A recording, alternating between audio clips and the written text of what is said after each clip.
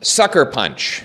That's what the Trudeau government hit Canadians with today by increasing interest rates after Trudeau and his government promised rates would stay low for long. They said the rates would stay low, so Canadians took on hundreds of thousands of dollars of debt. And now suddenly, rates have risen by over four percentage points in a single year.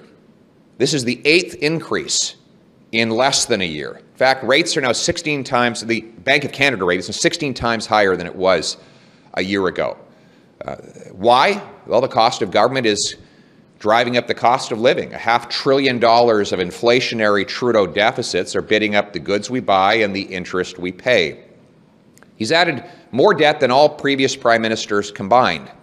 And this, according to the governor of the Bank of Canada, is driving up interest rates.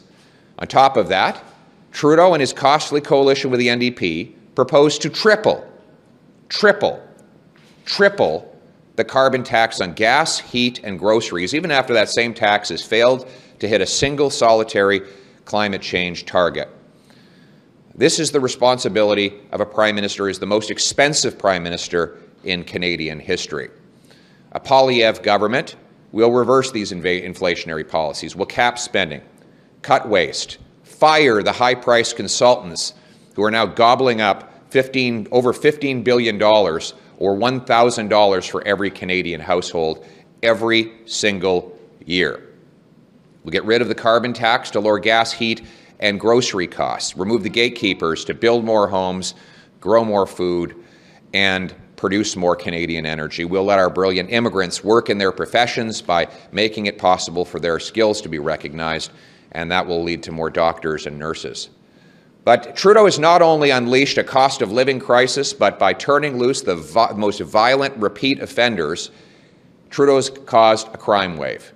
We see random attacks on uh, transit uh, in Toronto, four men shot in Abbotsford uh, over the last few days, a 32% increase in violent crime since Trudeau took office, 92% increase in violent gang-related crime.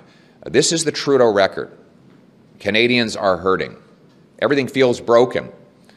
And instead of turning that hurt into hope, Prime Minister divides people to distract from his catastrophic failings.